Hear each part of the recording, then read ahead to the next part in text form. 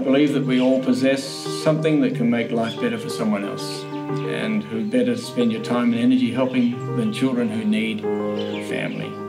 What good are the skills we possess unless we can use them to help other people? My name is Rick Shipway, and I'm coming 64 at the end of this April.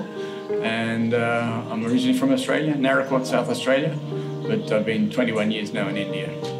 I dare say it's a God-given gift that I've got, and uh, I'm a practical guy, so anything to do with with my hands, with my brain, working out how I can use my hands to do something, and I've, we've made so much stuff here on the mission from my own hands. This is my life at the moment. I love it.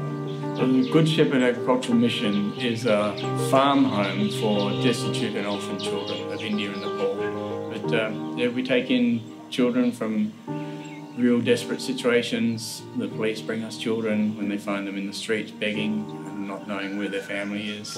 Usually the children come to us by word of mouth, uh, but the mission's been going now since 1948 and um, helped hundreds and hundreds and hundreds of children in that time.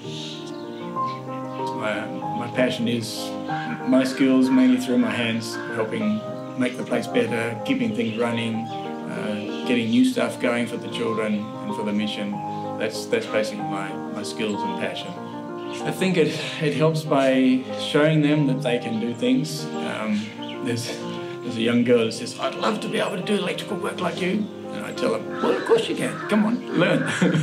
Follow me, see how I do it. And uh, she got a screwdriver and a pair of pliers in her hands and I helped her put a power plug together and showed her how to do it. She just loved it. You know? So it's mainly a place where you can just show how to have a good work ethic teach them what I know, like the boys here in the workshop. They didn't know how to work. Now I've got some excellent welders that are now in India from, from training I've given them, just, just basic engineering they learned from me. And it goes on, they pass it on to others. So the, kid, the kids here are my life. Um, I wouldn't be here if it wasn't for the children. And uh, I give very little love compared to what they give back. Um, it's just, they're just so loving and, and appreciative of, of, somebody who can care for them. And uh, as I said, it's an absolute privilege to be working with them.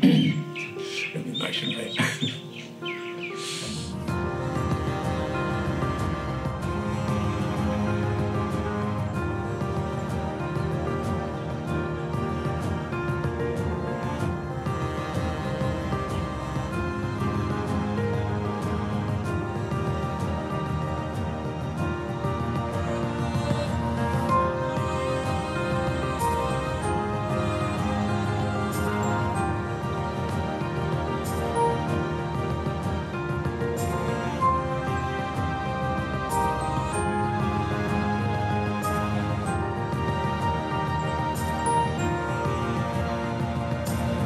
I'd say, in a nutshell, my life is here to serve these children in whatever capacity I can.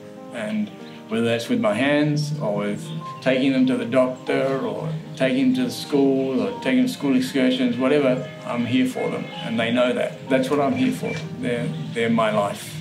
And uh, I feel really privileged to have that to do with my life.